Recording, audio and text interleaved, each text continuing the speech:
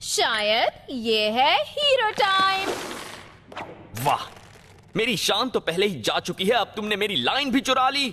Benton classic series में जब हमें काइग्रीन देखने को मिली थी तो बेंटन फैंस को काइग्रीन उतनी ज़्यादा पसंद नहीं आई थी। अब इसके पीछे का रीज़न ये हो सकता है कि बेंटन की क्लासिक सीरीज़ में काइग्रीन की काफ़ी कम अपीरियंस हुई थी। सबसे पहली अपीरियंस तो बैन वोल्फ वाले एपिसोड में ही हुई थी। दूसरी अपीरियंस हुई थी बेंटन के परफेक्ट डे एपिसोड में, जो की एक छोटा सा कैमियो था, जो की बेंटन ड्रीम देख रहा था। लेकिन बेंटन की एलियन फोर सीरीज़ और अल्टीमेट एलियन सीरीज़ में तो बेंटन के क्रिएटर्स भूल गए की काइग्रीन नाम का भी कैरेक्टर बेंटन की सीरीज़ में एग्जिस्ट करता है। तो बेंटन के क्रिएटर्स ने एलियन फोर्स और अल्टीमेट एलियन में तो काइग्रीन को दिखाया ही नहीं। लेकिन बेंटन ओमनीवर्स में काइग्रीन ने दोबारा से रिटर्न किया, जहाँ पर हमें काइग्रीन की काफ़ी अपीरियंस देखने को मिली, और काइग्रीन बेंटन फैंस के बीच भी पॉपुलर हो गई। लेकिन इस बात की कंफर्मेशन तो हमें पहले ही हो गई थी कि काइग्रीन की शादी बेंटनिसन से होगी। क्योंकि आप सभी को पता होगा कि हमें बेंटन की क्लासिक सीरीज़ में कैंटन नाम के एपिसोड में हमें बेंटन थाउज़ेंड का बेटा दिखाया गया था, जिसका नाम था कैंट टेनिसन जो कि एक ब्लैक था। लेकिन आप सभी को पता होगा, हमारा बेन टेनिसन वाइट है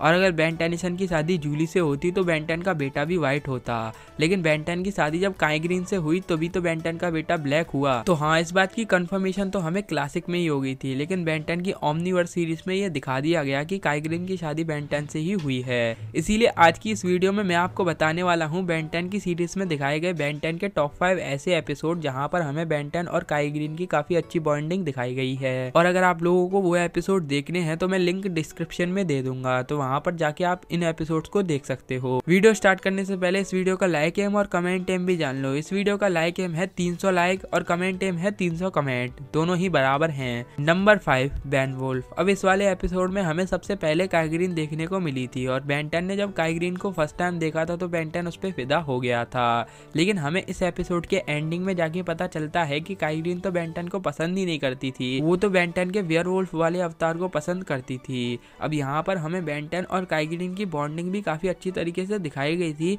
जब एपिसोड की शुरुआत हुई थी तो हमें लगा था कि काइग्रीन और बेंटन रिलेशनशिप में आ जाएँगे, लेकिन ऐसा कुछ भी नहीं हुआ, बल्कि काइग्रीन ने बेंटन का मूड और खराब कर दिया, जिसके बाद ग्वेन ने भी काइग्रीन को काफ़ी ज़्यादा सुनाई थी। लेकिन इस एपिसोड में ही हमें बेंटन की लव सबसे पहले अपीयर हुई थी, जिसका नाम था काइग्रीन तो इस एपिसोड को तो हमें इस रैंकिंग में रखना ही था। Number four, an American werewolf in London. अब बेंटन की ओमनीवर्स सीरीज़ का ये ऐसा पहला एपिसोड था जहाँ पर हमें पहली बार काइग्रीन काफ़ी टाइम के बाद देखने को मिली थी। बेंटन की एलियन फोर सीरीज़ और अल्टीमेट एलियन सीरीज़ में काइग्रीन ने बिल्कुल भी अपनी अपीयरेंस नहीं की थी। और इसी एपिसोड में बाद में जाके काइग्रीन ने अपनी अपीयरेंस की थी। और यहाँ पर काइग्रीन की अपीयरेंस काफ़ी अच्छी थी, क्योंकि क्लासिक सीरीज़ में जहाँ काइग्रीन उतनी ज़्यादा अच्छी नहीं लगती थी, यहाँ पर तो काइग्रीन काफ़ी अच्छी बन गई थी। मतलब समझ सकते हो ना, काफ़ी ब्यूटीफुल हो गई थी। और यहाँ पर काइग्रीन ने बेंटन को कॉल की थी। और यहाँ पर इस एपिसोड में काफ़ी ऐसे ऐसे मूवमेंट हुए थे, जो कि बेंटन और काइग्रीन के रिलेशनशिप को काफ़ी अच्छा बनाते हैं। यहाँ पर बेंटनिसन ने काइग्रीन की मदद करी थी। काइग्रीन यहाँ पर भी वेयरवुल्फ को तो पसंद करती थी, लेकिन यहाँ पर बेंटन को भी वो धीरे धीरे करके पसंद करने लग गई थी। और एंड में जाके तो आपको पता ही है, ये हुआ था। Number three, the secret of Dos Santos. अब इस वाले एपिसोड में हमें बेंटन काइग्रीन को चिढ़ाते हुए दिखता है कि मिसेस टेनिसन, क्योंकि यहाँ पर बेन टेनिसन को पता चल गया था कि काइग्रीन की शादी उससे ही होगी फ्यूचर में जाकर, इसीलिए बेंटन काइग्रीन को चिढ़ाता था। लेकिन काइग्रीन बिल्कुल भी पसंद नहीं करती थी कि वो बेंटन की वाइफ बने। लेकिन होनी को तो कोई टाल ही नहीं सकता, और इस एपिसोड में काफ़ी अच्छे अच्छे मूवमेंट हुए थे, और यहाँ पर फ़र्स्ट टाइम काइग्रीन ने पहले बेंटन के किसी एलियन को किस किया था। यहाँ पर बेंटन ने काइग्रीन को काफ़ी ज़्यादा प्रोटेक्ट भी किया था, जिसकी वजह से कायग्रीन बेंटन को भी काफ़ी ज़्यादा पसंद करने लग गई थी। मतलब धीरे धीरे करके पसंद करने लग गई थी। अब देखो, सामने वाली बंदी को अगर आप प्रोटेक्ट करते हो तो ऑब्वियसली वो तो फंसी जाएगी। तो यहाँ पर बेन टेनिसन ने कायग्रीन के लिए अपने मन में थोड़ा सा प्यार तो जगा ही दिया था। Number two the most dangerous game show अब यहाँ पर बेसिकली हुआ ऐसा था कि बेंटन आज तक जिन भी लड़कियों से मिल चुका था, उन सभी को एक कंपटीशन करना था, जिसके बाद वो विनर बनती, वो बनती बेंटनिसन की वाइफ अब अगर आप लोगों को ये देखना है कि इसमें विनर कौन बना था तो आप लोग इस एपिसोड को जाके देख सकते हो। मैंने लिंक डिस्क्रिप्शन में दे दिया है। अब ये एपिसोड काफ़ी इंटरेस्टिंग था और यहाँ पर बेंटेनिसन और काइग्रीन की लव बॉन्डिंग काफ़ी अच्छी बन गई थी। और यहाँ पर बेंटेनिसन को काइग्रीन काफ़ी अच्छी तरीके से पसंद करने लग गई थी। और ऑब्वियसली एंड में तो ये हुआ था। हाँ वैसे मैं भी नहीं।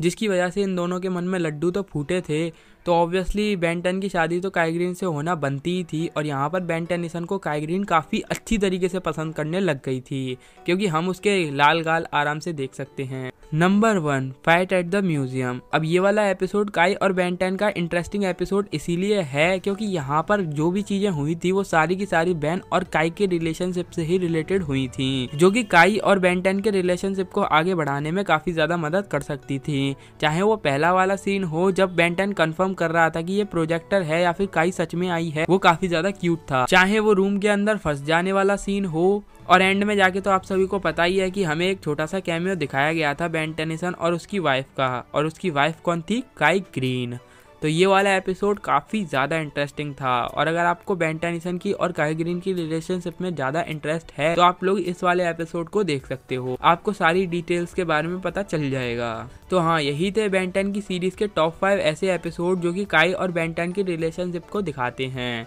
तो बस आज की इस वीडियो में इतना ही। अगर वीडियो आपको पसंद आई हो तो वीडियो को लाइक कर देना, चैनल को सब्सक्राइब करके बेल आइकन को ऑल पे सेलेक्ट कर देना, और नेक्स्ट वीडियो किस टॉपिक पे चाहिए वो भी नीचे कमेंट सेक्शन में बता देना। और अगर आप लोगों को बैन और जूली के ऊपर वीडियो चाहिए तो आप लोग नीचे कमेंट सेक्शन में बैन और जूली स्पैम कर सकते हो। तो मैं इस पर वीडियो बना दूँगा। और लाइक एम और कमेंट एम भी प्लीज़ कंप्लीट करवा देना।